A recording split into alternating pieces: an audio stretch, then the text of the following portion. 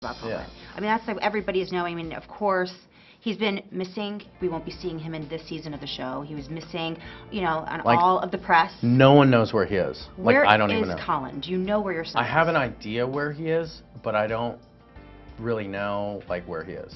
Kate says that Collin is in a special school for special needs kids with behavioral problems. And have you picked up the phone and tried calling her and saying, "Where is Collin? Where is our son?" I asked, but she doesn't tell me. She doesn't answer any of my texts unless they pertain to custody.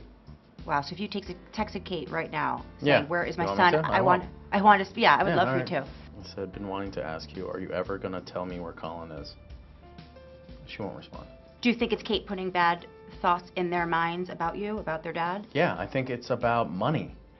I think it's about filming and money. That if I get any right, I'm not going to sign for my kids to film.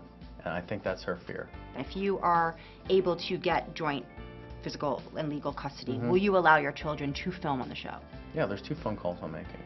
One is to TLC, and the other one is to find out where my son is. That's it.